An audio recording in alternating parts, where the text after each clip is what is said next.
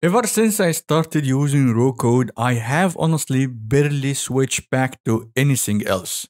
The high quality, the flexibility, the total control over it, and the deep customization of the modes and the models, it's just fantastic. And recently they have published what is, in my opinion, one of the best updates yet, Roo Code 3.15, which published a new mode that called Orchestrator or the Boomerang mode, a high quality UI and support for more languages and even better agentic logic. This update is a total game changer and I can't wait to show you why. So let's get started. Before we code anything, let's take a look to how this boomerang mode works.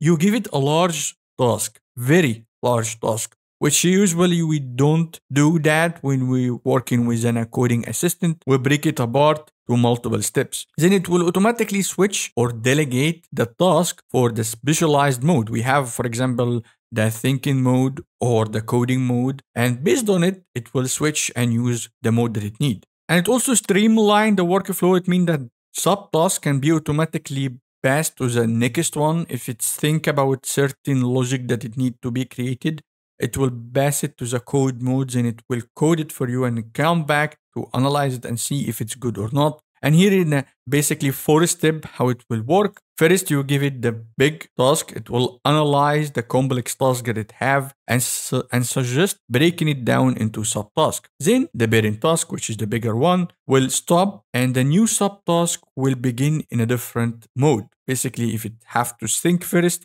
it will switch to the thinking mode if it have to code first, it will switch to the coding mode. When the subtask's goal is done, Roo Code basic will single the main task or the orchestrator mode that it's completed. Then the parent task will continue with a summary of the subtask and then the orchestrator will use this summary to continue working on the big task act like a developer. That's how I can see it for me. You give it a big task, it will break it to smaller tasks, then when the main task, uh, the first task is done, it will continue building on top of it. So what kind of models that we should use with the boomerang mode or the orchestrator? First thing come to my mind is the Gemini 2.5 Pro preview model, but it's extremely limited. You only can use it 25 time per day as an API, or you can use the DeepSeek R10 from OpenRouter which is limited. I don't remember the exact number, but it's more than 25 per day. Or you can use the Qwen 3 235 volume parameter, which is the latest open source model that we got. If you want to know more about them, go ahead. I will leave link in the description down below for it. It have both the syncing capability and non-syncing capability, and it's also a mixture of expert model, which is very good. So inside the API configuration, you first need to set up what kind of model that you want to use. I already set up the one that I used, the Gemini 2.5, which is the Pro version actually. I can go back to the orchestrator down below over here and hit edit and I can select it from over here. And you can see here also main prompt for this mode and what the role of this mode exactly and you can scroll down to see what enhancer prompt that you can use for this mode. And I'm with the DeepSeek version 3 it's for free. Hit done you can also check for the coding one. I am using the Gemini 2. Flash. And for Architect I am using the Sonnet 3.7 which is a very good model. For Ask also the 3.7 and you can switch this one to the DeepSeek version 3 by the way. It's not big deal.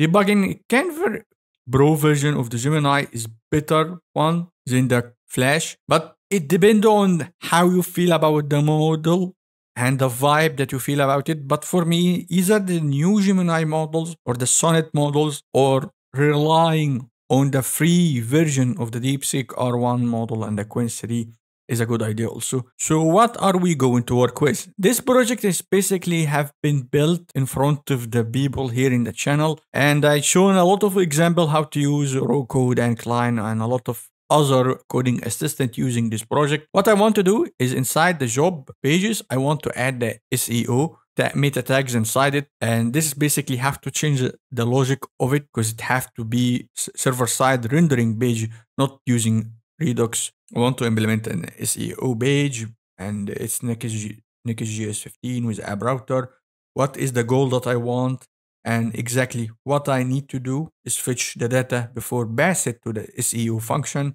So I will hit run.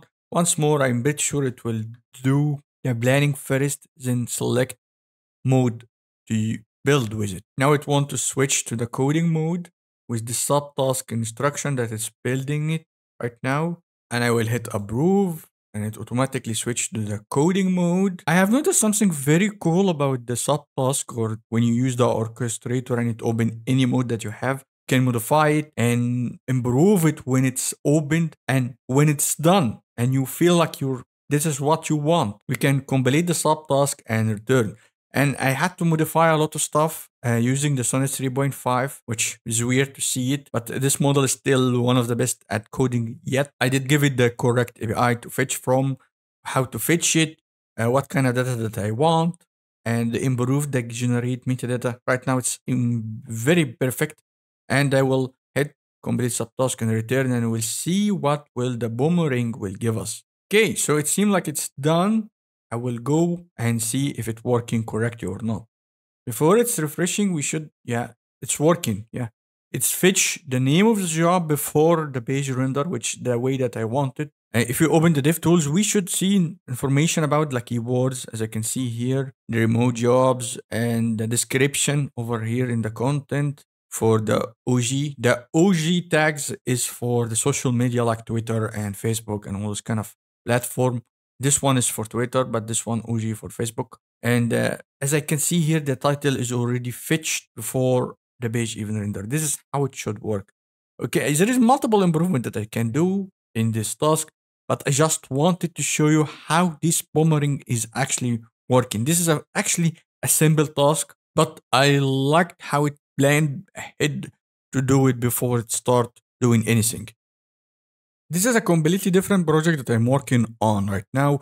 And I want to see if this boomerang task or the orchestrator mode can handle a task from the start to the end. I mean, like I want to create, for example, a contact us page, and I want to start from the back end using the Prisma schema database uh, that I have to the Redux state management slice, and finally connecting everything in the front end UI. And I have nothing except maybe the schema Prisma that I have inside it there is a table that should be used for storing the messages that are coming in the contact us. And I told it please look to the existing project structure and the coding style and build all the needed in the current architect. And I'm using the 3 235 billion parameter model. This is to test if this model can handle this kind of work or not.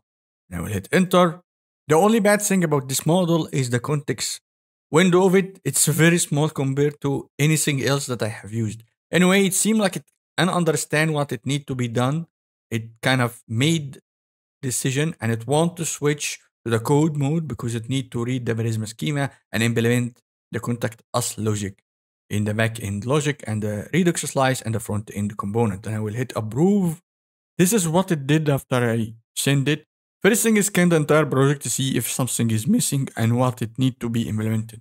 It found nothing about the contact us page in terms of logic. So the first thing it did, it created the, this symbol function inside the new controller called the contact us inside the shared folder.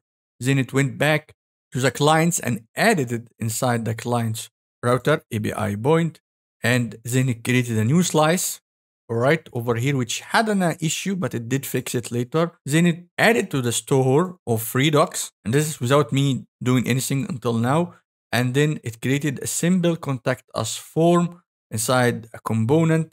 Then finally, it did add it to the main page over here. As you can see here, it wanted to add this to the main page, but I told it no, I wanted it in its own page. Then bam, it go ahead and created. But when I tested, I forgot that the current Supabase database is frozen. I am not using it, so it resulted in an error when, when I send the message. But as you can see here, the UI is extremely ugly, but it can actually create something from you from the back end to the front end, and you can modify the current task when it's working, especially in the subtask of code. Is the orchestrator mode or the boomerang task mode is good?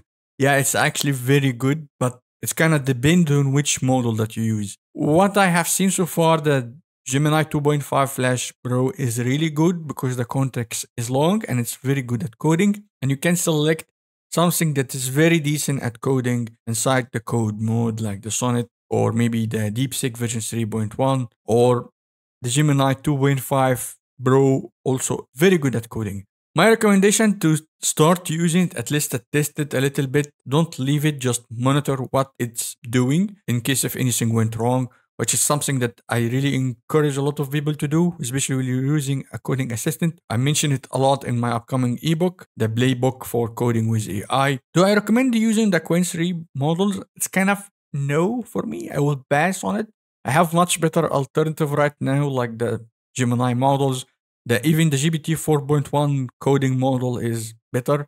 In open source, there is the V3.1 from DeepSeek is amazing. Anyway, if you found this video respecting you and providing you with valuable information, please hit the like and subscribe button and leave a comment. Comments is amazing for this kind of videos. It help the video get pushed even more. So finally, thank you for watching and see you in the coming video.